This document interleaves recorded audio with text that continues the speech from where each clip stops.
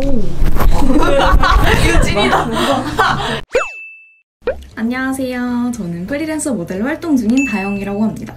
제가 촬영 일을 할 때 얼굴이 살이 조금만 찌거나 붓기라도 하면은 가로로 넓어 보여가지고 그게 컴플렉스 아닌 컴플렉스였어. 윤곽 주사를 되게 많이 맞아봤었는데 그게 뭐 단기적인 효과는 있었지만 그 살이 찌거나 금방 얼굴이 붓게 되면은 다시 좀 돌아오는 걸 느낄 수 있었거든요. 그래서 고민이 많았었는데 이번에 좋은 기회로 시술을 받게 되었어요. 그럼 제가 첫 번째 시술을 받고 후기를 좀 알려드리는 영상을 찍도록 하겠습니다.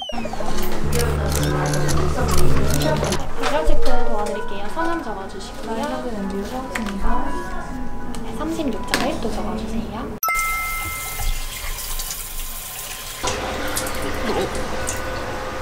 물 너무 많이 흘렀는데? 고민의 부분이 어느 부분이세요? 광대 비대칭이랑 여기 볼 쪽 이부에 좀 살이 많아가지고 왼쪽이 조금 더 크고요. 그리고 오른쪽 광대가 확실히 조금 더 크네요. 그래서 어, 그거는 주사 양을 맞춰가면서 비대칭 어느 정도 교정할 수 있거든요. 그래서 볼은 왼쪽을 조금 더 맞으시고 그리고 광대는 오른쪽이 더 크니까 오른쪽에만 살짝 같이 시술하는 걸로 해서 한 3회 정도 시술하시면 될 것 같아요. 그래서 그래서 시술하고 경과 봐가면서 조금 더 필요하면 더 하셔도 되는데 일단 3회 정도 하고 경과 보실게요.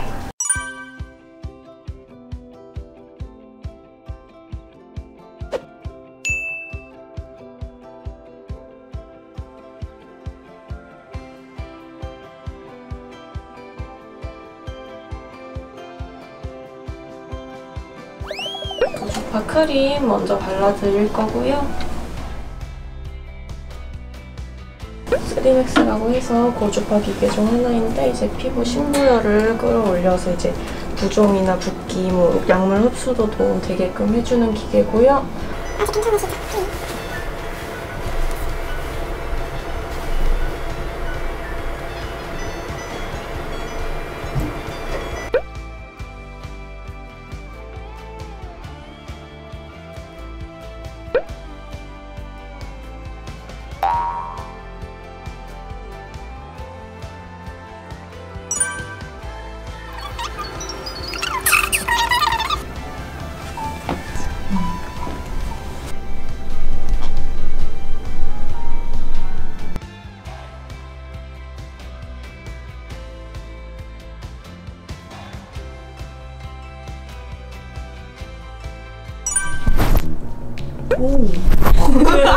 이거 찐이다.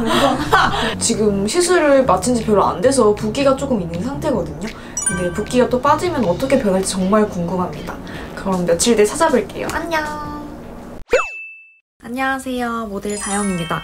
제가 벌써 엔주사를 맞은 지 3회차가 되었는데요. 처음에 엔주사를 맞았을 때 얼굴이 되게 많이 부어있고 몇 시간 동안 붓기가 좀 안 빠져가지고 이게 효과가 있을까라는 생각이 좀 있었는데 붓기가 쫙 빠지고 나서는 이제 얼굴 살이 많이 빠져가지고 광대라든지 뭐 얼굴 사각턱이라든지 좀 대칭이 안 맞는 게 살짝 컴플렉스여서 사진에 그게 도드라져 보였었는데 이제 그게 좀 보완이 되고 나서는 사진에서도 윤곽 대칭이 좀 맞는 것 같아서 굉장히 스스로 만족을 하고 잘 지내고 있습니다. 안녕하세요. 모델 다영입니다. 제가 벌써 엔주사를 맞은 지 4회차가 지났는데요. 제 얼굴 윤곽이 확실하게 좀 도드라진 것 같아가지고 굉장히 만족을 하고 있습니다. 이제 사진 찍을 때 자신감이 많이 붙게 되었고 주변에서 좀 살이 빠졌냐 뭐 얼굴이 되게 뚜렷해졌다라는 소리를 굉장히 잘 듣고 있고 어, 이게 되게 신경 써서 좀 대칭을 맞게 잘 놔주셔가지고 저는 굉장히 감동을 받았고 만족을 하고 잘 지내고 있습니다.